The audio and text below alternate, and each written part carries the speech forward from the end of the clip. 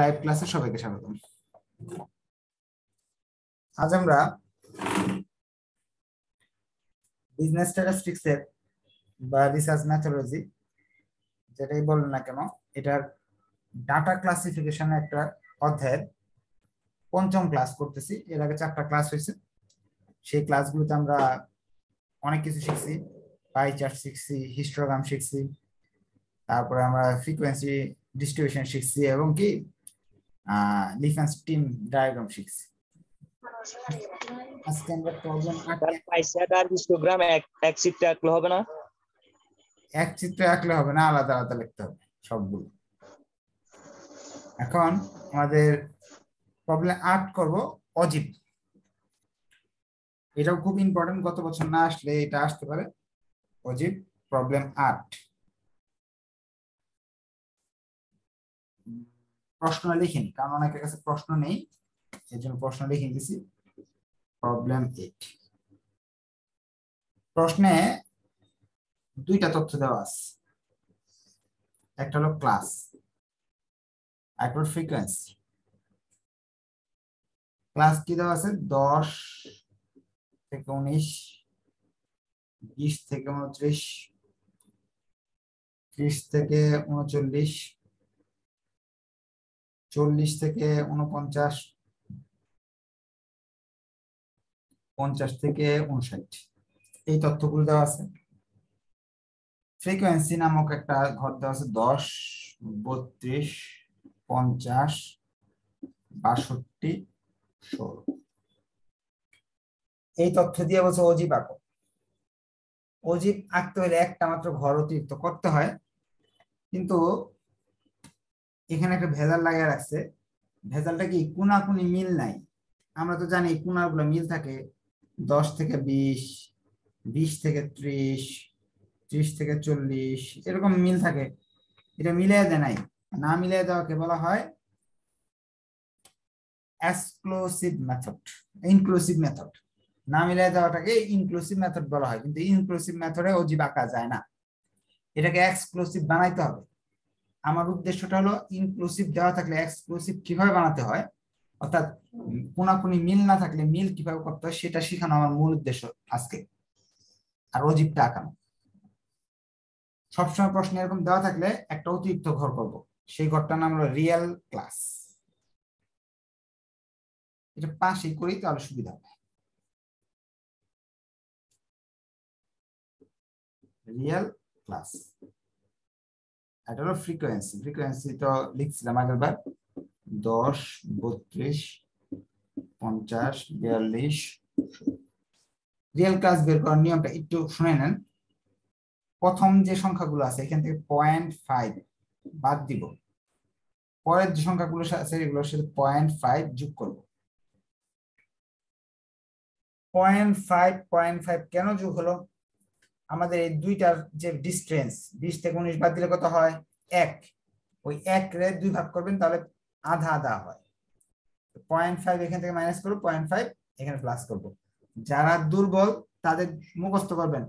প্রথমটা থেকে point five minus করতে হবে, দ্বিতীয়টা, পরের লাইনটার সাথে পয়েন্ট ফাইভ প্লাস করতে হবে। অর্থাৎ দশের সাথে পয়েন্ট ফাইভ মাইনাস করে দিদি এটা আসে, উনিশের সাথে পয়েন্ট ফাইভ যদি প্লাস করি এটা আসবে। বিশ থেকে পয়েন্ট ফাইভ বিয়োগ করলাম, এটা আসলো। উনত্রিশের সাথে পয়েন্ট ফাইভ যোগ করলাম, এটা আসলো। দেখেন এবার কোনা মিলে গেছে, এটার সাথে মিলছে। ত্রিশের সাথে পয়েন্ট ফাইভ যোগ করলে, বিয়োগ করলে এটা আসে। এটার সাথে যোগ করলে এটা আসে। উনচল্লিশের সাথে বিয়োগ করলে চল্লিশের সাথে বিয়োগ করলে উনচল্লিশ দশমিক পাঁচ, পঞ্চাশের সাথে যোগ উনপঞ্চাশের সাথে যোগ করলে উনপঞ্চাশ দশমিক পাঁচ। তাহলে রিয়েল ক্লাস সবসময় বের করে নিতে হবে। আপনাদের একটা কথা বলে দিই। এই যে একটা ছোট্ট বেসিক যে ক্লাস দেওয়া থাকে যদি না মিলানো রিয়েল ক্লাস পয়েন্ট ফাইভ এখান থেকে বাদ দিতে হয় পয়েন্ট ফাইভ এত যোগ করতে হয়। এইটাতেই দশ নাম্বার হারায় যায়। ধরেন অজীব করা কোন ব্যাপার না? হিস্টোগ্রাম করা কোন ব্যাপার না? এগুলো আপনি শিখে গেছেন। স্ট্যাটিস্টিক্স পরীক্ষা এরকমই হয়। সবকিছু শিখে গেছেন খুব ভালো, সহজ। এখন পরীক্ষা হলে যায় দেখলেন এরকম মিল নাই। তখন যে এই জায়গাটা যে অতিরিক্ত করতে হবে, এটা জানা নাই। তখন অঙ্কটা করে দিয়ে আসলে নাম্বার পাবেন না। আসসালামু আলাইকুম। আমি তো ক্লাসে আছি ক্লাস শেষ করার পরে আপনাকে আমি ফোন দেব। এখন আমরা একটু প্রশ্নে যাই, তারা বলছে ড্র অজীব অজীব আঁকো। এখন আমি অজীব আঁকতে যাইতেছি। আমাদের যখন এই কোনা কোনা মিলে গেল, তখন অজীব আঁকতে যাইতে পারব। তাহলে এই ঘরটা কেন করলাম? এরকম মিল, এই কোনা কোনো মিল ছিল না এই জন্য এই ঘরটা করছি। আগের চারটা ক্লাস দেখে নিলে আপনাদের জন্য সুবিধা হবে ক্লাসগুলো বুঝতে। না করলেও সমস্যা নেই, এগুলো আগে শিখে নি এখন অজীব আঁকতে হলে একটা ঘর করতে হবে। ঘরটার নাম হলো মাইক অফ করে অফ করে ক্লাস করতে হবে। মাইক অন থাকলে তো কি হবে? অন্যরা আপনার কথাগুলো শুনবে। ডিস্টার্ব হবে অন্যদের এই ঘরটার নাম হলো সিএফ অজীব আঁকতে হলে একটা ঘর করতে হবে সেটার নাম হলো সিএফ ঘরটা কীভাবে করে? কিউমিলেটিভ ফ্রিকোয়েন্সি এই দশটাকে লিখবেন আগে। এই দশের সঙ্গে এই বত্রিশের যোগ করবেন। এটার সাথে পঞ্চাশের যোগ করবেন। এটার সাথে বিয়াল্লিশের যোগ করবেন। এটার সাথে যোগ করবেন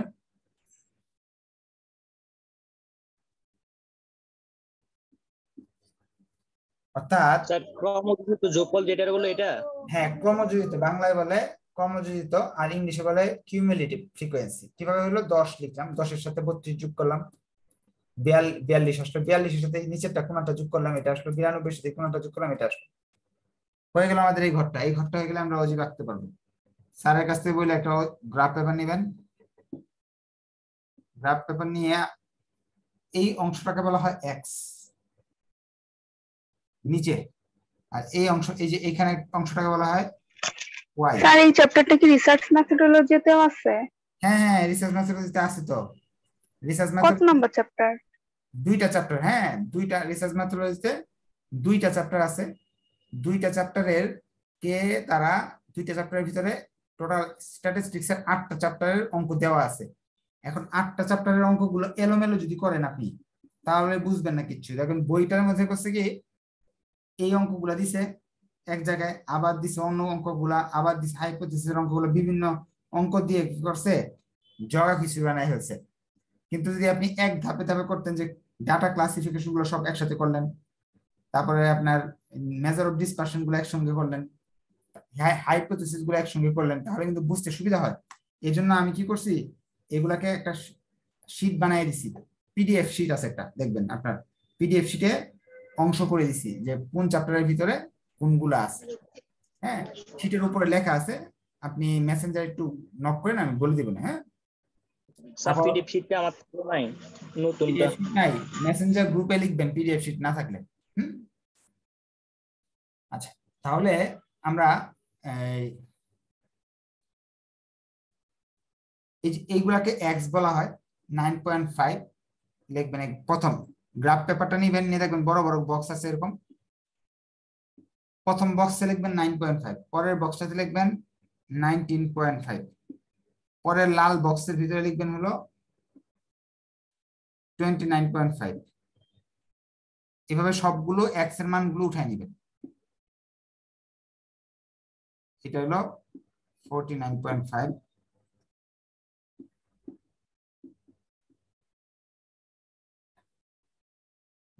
এভাবে আমাদের ক্লাসগুলো উঠে নিন আসসালামু আলাইকুম।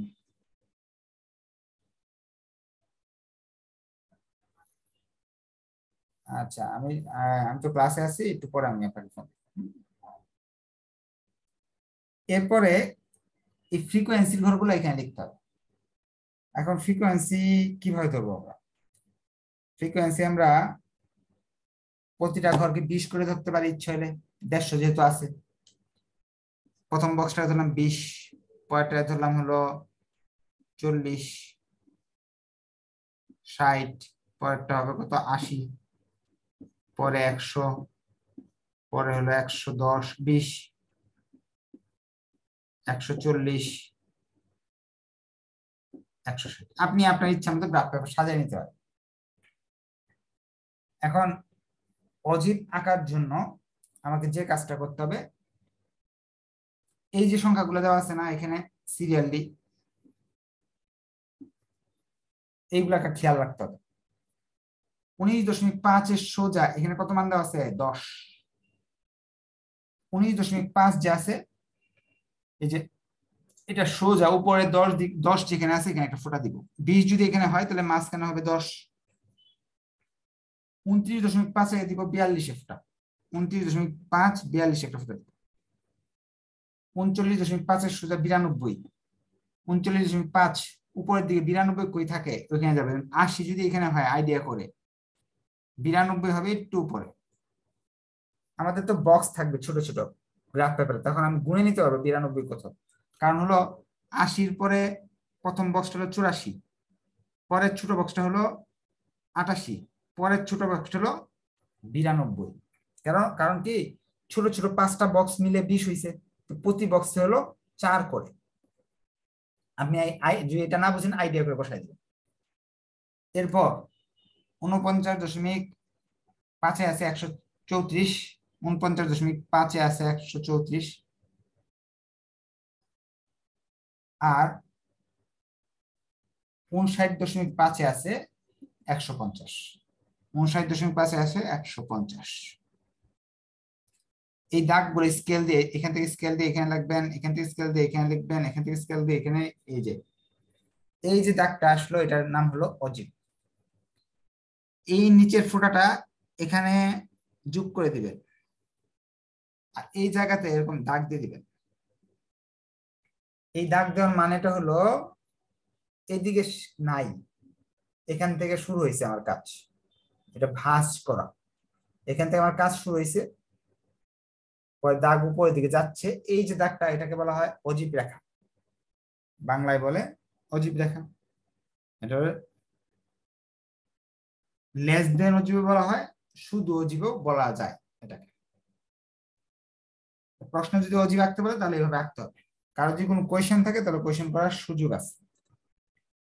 অনেক সহজ জিনিস, এই ছোট অঙ্কের মাঝে দশ নাম্বার থাকে। এগুলো পরীক্ষায় আসছে। যেমন এই অঙ্কটা যে আসছে, এটা কোনো বানানো অঙ্ক না, এটা ফিনান্স ডিপার্টমেন্টে আসছে, দুই হাজার পনেরো সালে। আচ্ছা আমরা চলে যাই এরপরে নয় নাম্বার অঙ্কে। সেম অঙ্ক। From the following data determine the median by using অজিব অজিবের মাধ্যমে মিডিয়ান বের করো। এটা আবার কি জিনিস? আচ্ছা প্রশ্নটা আগে উঠাই। তাহলে আমরা সব পেরে যাব। প্রশ্নটা দেওয়া দেওয়া আছে দুইটা ঘর। প্রথম ঘর ক্লাস পরের ঘরটা হলো ফ্রিকোয়েন্সি ক্লাসের মানগুলো এখানে দেওয়া আছে শূন্য থেকে দশ। আসসালামু আলাইকুম। ওয়ালাইকুম আসসালাম আমি তো ক্লাসে আছি আধা ঘণ্টা লাগবে ক্লাস শেষ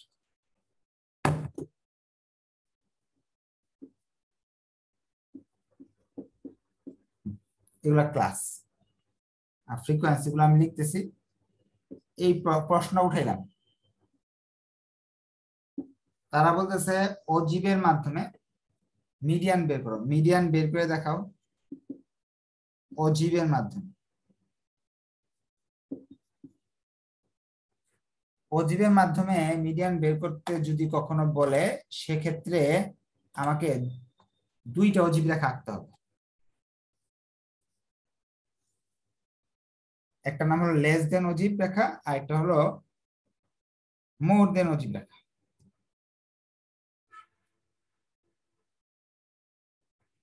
আমরা তো এর আগে একটা একটা শিখছিলাম এখন কি দুইটা লাগবে। স্যার মিডিয়ানের বাংলা কি? মধ্যক মাঝখানে।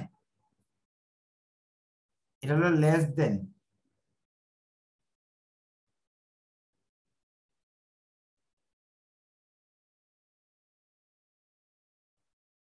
less than CF more than CF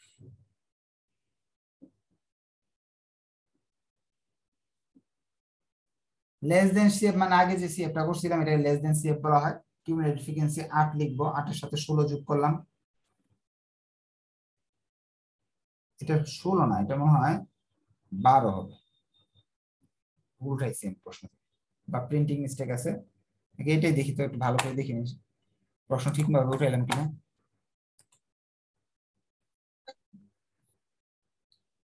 হ্যাঁ এটা হলো ঠিকই আমি ভুল হয়নি, ঠিকই উঠেছি। আট, ষোলো, দশ, ছয়, ঠিক আছে। আটের সাথে যখন আমি ষোলো যোগ করব, আসবে কত? চব্বিশ। চব্বিশ চৌত্রিশ চল্লিশ, পঞ্চাশ। এখন আগের মতো করলাম কোনাকুনি যোগ করে ফেলাম মোর দেন অজিবটা কি জিনিস? মোর দেন সিএফটা কি জিনিস?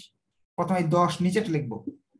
দশের সাথে ষোলো যোগ করব ছয় যোগ করব ছয়ের সাথে দশ যোগ করব এই ছাব্বিশের সাথে ষোলো যোগ করব বিয়াল্লিশের সাথে আট যোগ করব।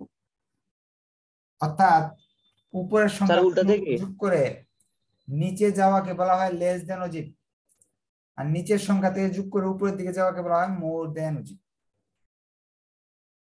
উপরের সংখ্যাগুলো থেকে নিচের দিকে যাওয়া হলো লেস দেন আর নিচ থেকে উপরের দিকে গেলে এটা হলো মোর দেন এখন একটা আমরা গ্রাফ এঁকে ফেলব? যেহেতু তারা বলতেছে গ্রাফের মাধ্যমে দেখাও।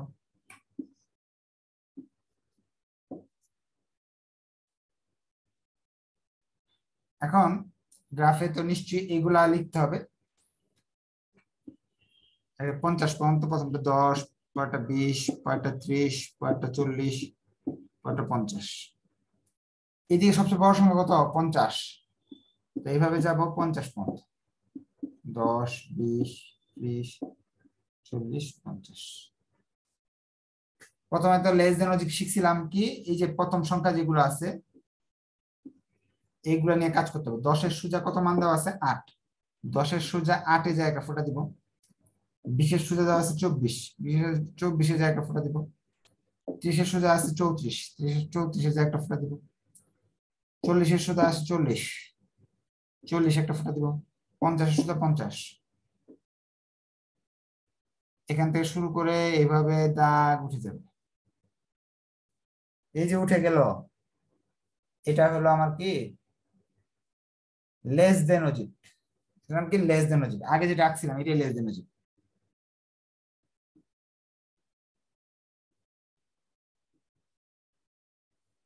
মোর দেন অজিটটা কি? এই যে, এই সংখ্যাগুলো নিয়ে কাজ করতে হবে। প্রথম সংখ্যাগুলো। শূন্যের সোজা, কত মান দেওয়া আছে? পঞ্চাশ। শূন্যের সোজা, পঞ্চাশে করে একটা ফোটা দিব। দশের সোজা দেওয়া আছে বিয়াল্লিশ। দশের সোজা বিয়াল্লিশে জায়গা ফোটা দিব। বিশের সোজা ছাব্বিশে জায়গা ফোটা দিব। বিশের সোজা ছাব্বিশ যে জায়গাটা ফোটা দিব। ত্রিশের সোজা ত্রিশের সোজা আছে কত? ষোলো। ত্রিশের সোজা আছে হলো বিশের সোজা হলো ছাব্বিশ না? ও। ত্রিশের সোজা হলো? ষোলো। চল্লিশের সোজা আছে হলো দশ। দশ। তাহলে এখান থেকে যা দাগ যাবে পঞ্চাশ হাজার মিলিত হবে। এই দুইটা দাগ এই দাগটা নাম হলো মোর দেন।